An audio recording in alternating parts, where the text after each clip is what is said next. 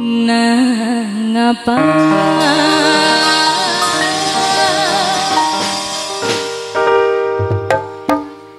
kakang tega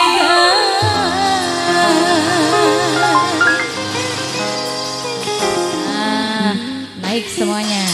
Pagar ayu pagar bagus warga Cikasarung